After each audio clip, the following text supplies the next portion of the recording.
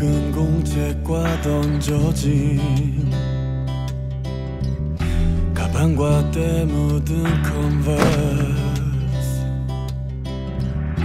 책상 위엔 흐린 낙서.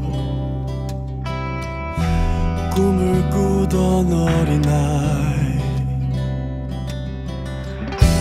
부러져라 보던 시계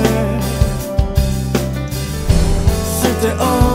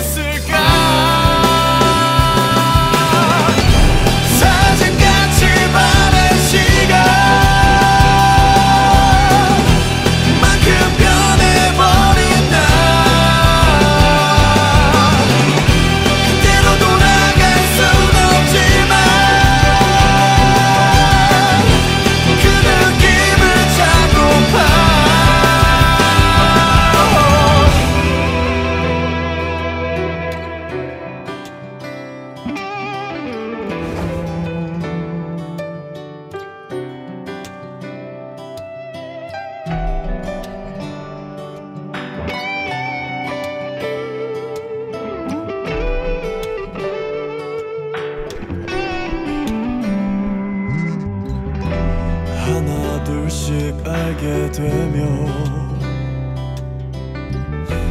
맞춰가는 나를 봐.